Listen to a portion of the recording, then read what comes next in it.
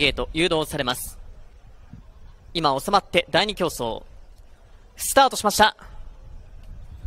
まずは広がった外、10番春のマリーナ。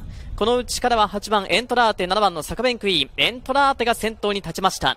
後位のインで2番のリュールドレ、外から9番スペキアリス、これも後位に取り付きます。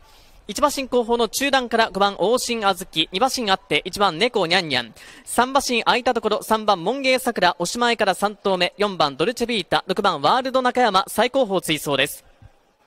馬群は縦長で3コーナーカーブに入っていきました。縦長ながらも先端は固まって、8番のエントラーテが率いて逃げます。残り600メートルを切りました。